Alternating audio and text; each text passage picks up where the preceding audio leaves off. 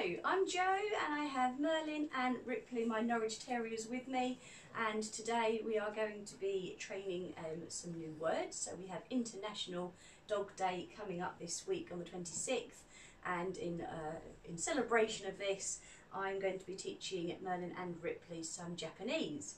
So we are going to do high five, we are going to do watch me, um, and we're going to do down, which as you can see Ripley can do very well already. So let's have a look, shall we? Part of the training is going to be utilising our body language. Lips that way a bit, darling. Hold on, hold on, Merlin. Who say? Good boy, that's nice. Who say? Good boy, good. Rippers, chippers, choppers. Good girl. Who said good girl? Yay! Who it's a good girl? That's nice. So, I have this body language for down for me um, because it means I don't have to bend so much to guide. But if I was teaching this from completely scratch,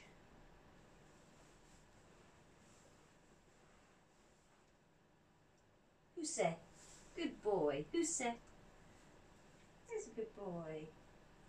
Who's that? good boy. Rippers Chippers? That? Good girl. Who's that?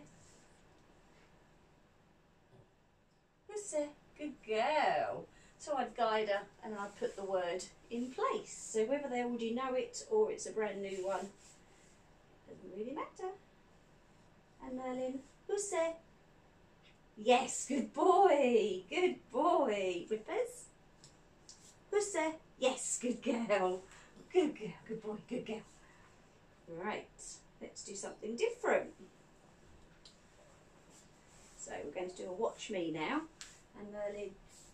Mitte. Good boy. Good. Mitte. Mitte. Good boy. It's nice. It's nice. It's nice. It's nice. So lots of praise, lots of interaction for them. Come over here. That's my good girl.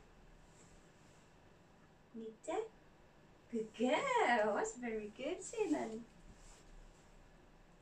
Ripley. Nita? Nita? Good girl. That's nice. Nita? Good boy. Nita? Ripley. Peter. Yes, good girl, good girl. So I'm asking them to watch me. So I'm asking them to look up at my face and do a watch me. Mitte. Good boy. Good. So I don't want them looking at hands. I want them looking here. Mitte. Mitte. Yes, good girl. And then high five. So they already know a paw, so this is just extending something that they kind of already know. Uh, Hitachi, good boy. Hitachi, good boy, good boy. So if they already know how to do a paw, you just bring your hand up a little bit higher. Ripley, here. So that would be a, a normal, that would be a paw, like that. Turn you round so I would just then Hitachi, good girl. I just bring my hand a little bit higher and that gets the position that I'm after.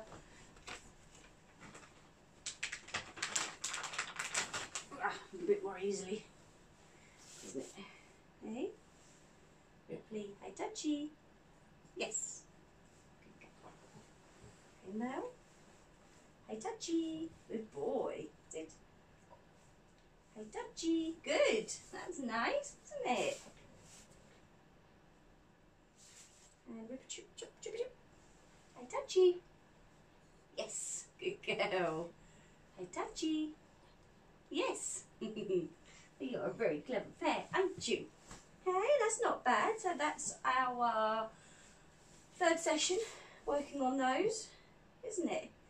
and it's just as much about me learning the words as it is for the dog so it was really good to have a uh, get a chance to hear what the, the wording should sound like as well as seeing it written and, and knowing what the word is. That helps me get it right as well. So then we've got Husse. Husse, good boy. Merlin Mitte. Merlin Mitte. What are you doing? I don't want that. Yes. It's giving me a sleepy. Ripley. Fusse. Good girl. Ripley. Mitte. Yes, good. That's nice. And Merlin. Sit. You it. No. You touch it. Give me a foot.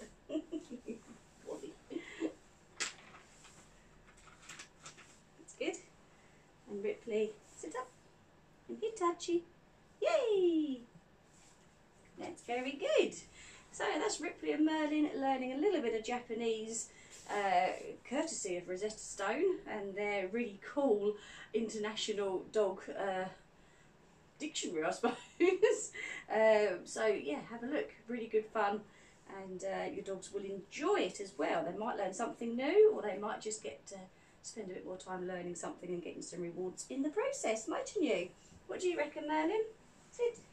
Sit. A touchy. Yay! There's a good boy. Ripley. Ripley's doing her own thing.